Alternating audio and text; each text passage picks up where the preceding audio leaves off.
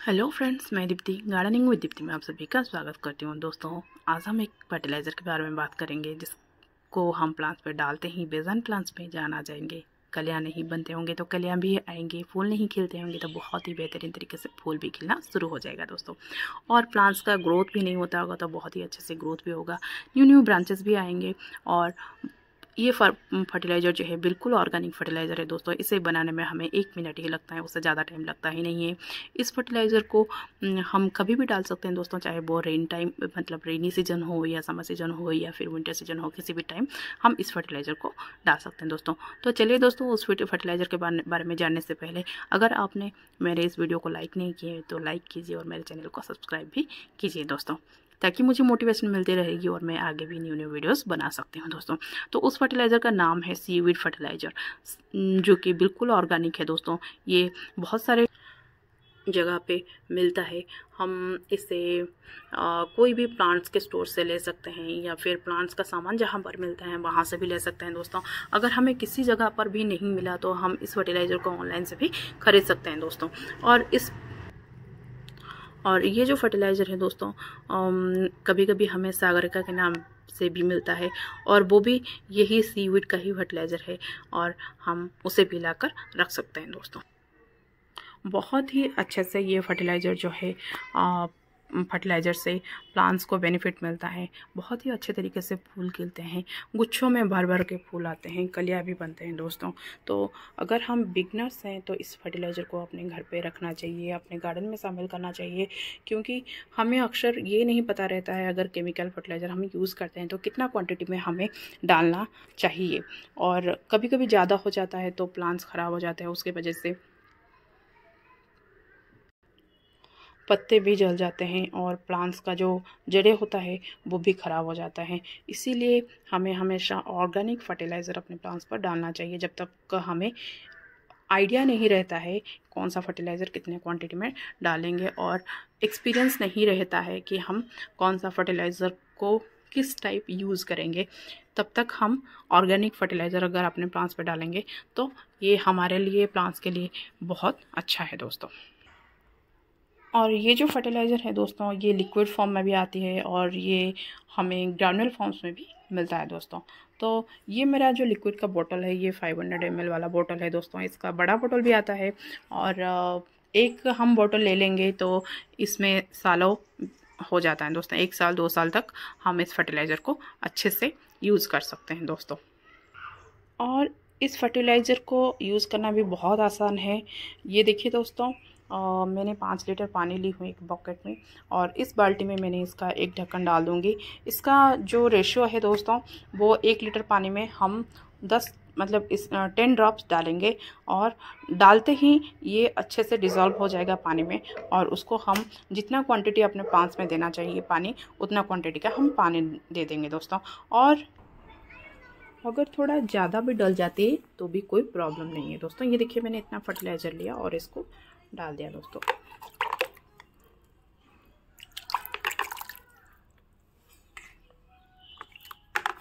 और ये अब हमारी फर्टिलाइज़र रेडी हो गया है दोस्तों, ये देखिए। अब इसको हम हर प्लांट में थोड़ा थोड़ा दे सकते हैं दोस्तों, हर प्लांट पर। और इसका अगर थोड़ा ज़्यादा हो जाता है तो प्लांट पे कोई मतलब ख़राब नहीं होगा, थोड़ा कम भी हो जाएगा तो भी प्लांट हमारा ख़राब नहीं होगा दोस्तों। अगर हम बिगनर्स हैं तो इस फर्टिलाइज़र को अपने पास ज़रूर रखना है दोस्तों, क्योंकि क्योंकि ये एक ही फर्टिलाइज़र ऐसा है जिसका क्वांटिटी ऊपर नीचे होने से भी प्लांट्स ख़राब नहीं होंगे दोस्तों। और बाकी जितना भी फर्टिलाइज़र होता है, अगर थोड़ा बहुत ज़्यादा हो जाता है तो प्रॉब्लम होगा। और एक बेनिफिट ये भी है दोस्तों, ये फर्टिलाइज़र हम हर पौधे में डाल सकते हैं, पर बाकी फर्टिलाइज़र हम हर प्लांट में नहीं डाल सकते हैं दोस्तों, चाहे वो ऑर्गेनिक फर्टिलाइज़र भी क्यों ना हो, जैसे कि सरसों की खली हो, वो भी ऑर्गेनिक फर्टिलाइज़र है, पर उसे हम इंडोर प्लांट्स में नहीं डाल सकते इंडोर प्लांट्स में डालते ही वो प्लांट्स जो है ख़राब होना शुरू हो जाएँगे दोस्तों। और वो सारे प्लांट्स पर डालने का तरीका भी है दोस्तों, पर ये जो एक फर्टिलाइज़र है, ये हम किसी भी प्लांट्स पर डाल सकते और ये फर्टिलाइज़र जो है दोस्तों ये और भी बहुत सारे आ, मतलब तरीके से हम यूज़ कर सकते हैं। जैसे कि इसका ग्रानुअल फॉर्म में ये फर्टिलाइज़र आता है दोस्तों। और ग्रानुअल फॉर्म्स में जो आता है उसको हम जब सॉयल को प्रिपेयर करते हैं प्लांट को रिपोर्टिंग के लिए तो आ, हम वो ग्रानुअल फॉर्म वाला फर्टिलाइज़र को यूज़ करेंगे। या हम अगर एक फिट का पूरा गमला है तो हम एक चम्मच डालेंगे। या फिर थोड़ा डेढ़ चम्मच भी डाल सकते हैं, पर उसे हम हर डेढ़ महीने में, दो महीने में डालेंगे। और लिक्विड वाला जो है, ये हम पंद्रह, हर पंद्रह दिन में, बीस दिन में डालेंगे। अगर ज़्यादा से ज़्यादा लेट होगा तो बीस दिन के अंदर हम डाल, बीस दिन में डाल देंगे दोस्तों। और इस फर्टिलाइज़र को हम अपने प्लांट्स पर स्प्रे भी कर सकते हैं दोस्तों। अब मैं स्प्रे भी करके आपको दिखाऊँगी। इसको हम स्प्रे बॉटल में भर देंगे और अच्छे से हर प्लांट में, हर एक पत्तों में डाल देंगे दोस्तों। उससे क्या होगा कि पत्तों को भी ये फर्टिलाइज़र का जो न्यूट्रिशंस वगैरह होता है, वो मिलेगा। सीविड फर्टिलाइज़र से क्या होता है दोस्तों, प्लांट्स को जितना भी माइक्रो एंड माइक्रो न्यूट्रिएंट्स की कमी होती है, वो सारा फुलफिल हो जाती हैं दोस्तों। इसीलिए हमें इस फर्टिलाइज़र को रखना चाहिए। सबसे बहुत अच्छी बात यह है कि हम हर प्लांट में इस फर्टिलाइज़र को डाल सकते हैं। ये देखिए दोस्तों, मैंने अब स्प्रे बोतल में भी भर दिया हूँ। अब इसको हर प्लांट में स्प्रे करूँगी। और मेरे घर के पास जो है कंस्ट्रक्शन का काम चल रहा है दोस्तों, इसीलिए थोड़ा सा आवाज़ आ रहे हैं साइड से। इसको देखिए दोस्तों, हर एक पत्तों पे भी हम डाल सकते हैं। इंडोर प्लांट्स पे हम इसे स्प्रे कर सकते हैं दोस्तों। एक ध्यान देने वाली बात यह है दोस्तों, जब भी कलियाँ आती हैं, देखिए ये छोटा सा पौधा है, इसमें बहुत सारे कलियाँ हैं दोस्तों। और कलियाँ आता है तो और फूल भी खिलते हैं तो उस टाइम में क्या होता है दोस्तों इंसेक्ट्स भी आते हैं। तो जब इंसेक्ट्स आता है, तब हमें क्या करना चाहिए? नीम का ऑयल सिंपल नीम ऑयल लेना है और अच्छे से थोड़ा सा तीन चार ड्रॉप एक लीटर पानी की बात मैं कर रही हूँ यहाँ पे। उसमें भीम का लिक्विड ऐड करके अच्छे से हर प्लांट में डाल दीजिए दोस्तों। और वरना खाली नीम ऑयल का भी आप स्प्रे कर सकते हैं हर हफ़्ते में दोस्तों। उसमें क्या होगा, जो भी इंसेक्ट होगा या फिर जो भी स्पाइडर वगैरह, जो भी अटैक किया होगा प्लांट्स पर, वो सारा कभी कभी मिली वर्क भी अटैक करते हैं। वो सारा अगर आप हर हफ़्ते करते रहेंगे स्प्रे पेस्टिसाइड्स या फिर इंसेक्टिसाइड्स का तो वो सब भी नहीं होगा दोस्तों। फूल वगैरह होने से, फल वगैरह होने से वो सारा चीज़ अपने आप ही प्लांट्स पर हो जाते हैं। तो उसको भी हमें अवॉइड करने के लिए हमेशा पेस्टिसाइड्स की ज़रूरत पड़ती है दोस्तों। अगर आप होममेड पेस्टिसाइड चाहते हैं या फिर ऑर्गेनिक पेस्टिसाइड भी डालना चाहते हैं अपने प्लांट्स पर, मैंने पिछले वीडियो में ऑर्गेनिक पेस्टिसाइड्स कैसे बनाते हैं, तीन टाइप का ऑर्गेनिक पेस्टिसाइड्स बनाकर दिखाई हूँ दोस्तों।